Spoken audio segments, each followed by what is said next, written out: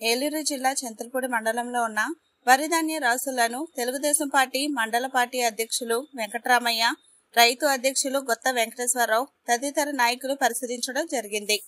ఈ కార్యక్రమంలో మండల పార్టీ అధ్యక్షులు వెంకటరామయ్య మాట్లాడుతూ రైతులు నారు పోసిన దగ్గర నుంచి పంట చేతికి వచ్చే వరకు నానా ఇబ్బందులు పడుతుంటారని పంట చేతికి అందిన తర్వాత అకాల తుఫాను వల్ల పంట తడిచిపోయి రంగు మారిన ధాన్యాన్ని ప్రభుత్వం కొనకుండా రైతులకు సరైన గిట్టుబాటు ధర కల్పించడం లేదని పాపోయారు సంచులు ఇచ్చినా రైతులు ధాన్యం నింపాక లారీలు రావడం లేదని నిన్న రాత్రి కురిసిన వర్షానికి రైతులు ఏం చేయాలో దిక్కుతోచని పరిస్థితిలో ఉన్నారని డిమాండ్ చేశారు.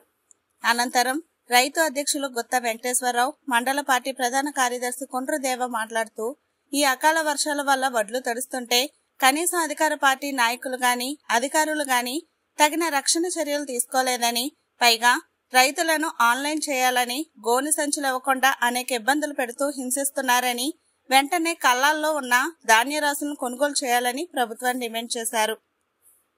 అని చెప్పి వాళ్ళని అంటున్నారు. గవర్నమెంట్ కొనట్లేదు.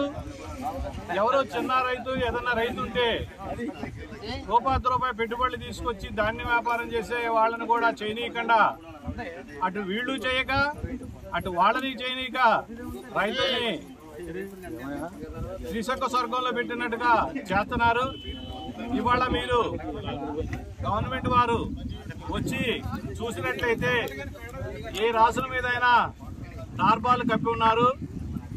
ఆ టార్బాల్స్ కూడా గత ప్రభుత్వం మా తెలుగుదేశం పార్టీ ప్రభుత్వంలోనే ఇలా అకాల వర్షాలకి రైతులు ఇబ్బంది పడతారని చెప్పి సబ్సిడీ మీద రైతులకు మేలు చేసి పట్టాలు కూడా ఇవ్వడం జరిగింది.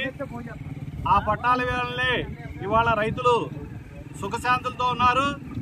ఎందుకంటే మీరు కొనకపోయి కొనేవాళ్ళని కొననీక ధాన్యం తడిచి నానా ఇబ్బందులు పడుతున్నారు.